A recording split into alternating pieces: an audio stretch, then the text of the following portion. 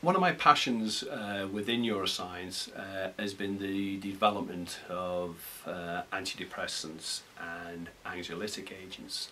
Uh, one of the compounds I worked on for 10 years at SmithKline Beecham was the antidepressant uh, paroxetine, Seroxat or Paxil as it's known in the US. Now this compound uh, was one of a number of SSRIs, selective serotonin reuptake inhibitors. And it was an advance on what had gone before with regard to our understanding of depression and anxiety. Trying to uh, bring this compound forward was not without its difficulties within the Beecham organisation who I work for uh, because of some of the side effects associated with uh, anxiety and depression. So there's still a lot of controversy uh, around antidepressants and the treatment of depression and whether these compounds actually show any efficacy. But that takes me back to a period in my life where I'd moved to America and my wife and I were looking at uh, an apartment um, to buy. The lady who was selling the apartment, we wanted a three bedroom apartment. The lady who was selling the apartment to us uh, asked me to sign the contract and of course you have to sign your occupation. So I put something down like neuroscientist and she said I can't thank you people enough. She said, are you involved in drug development? And I said, well, yes, uh, I have been.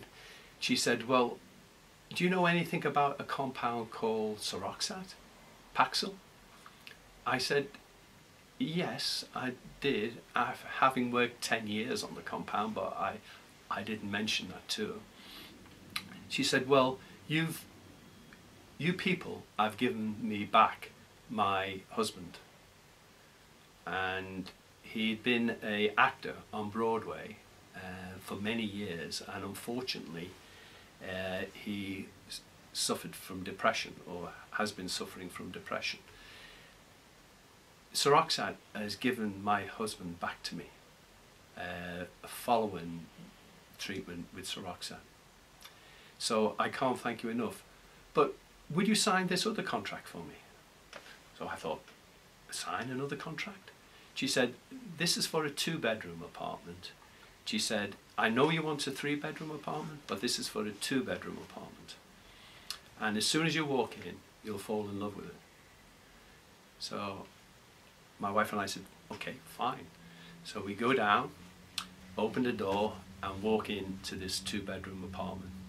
And there before us was a a huge window expanse which overlooked the Hudson River and the view of Manhattan and the Empire State Building. So we fell in love with. So that is one of a number of people that have come to me over the years and said, uh, thank you as a neuroscientist for helping me with my depression.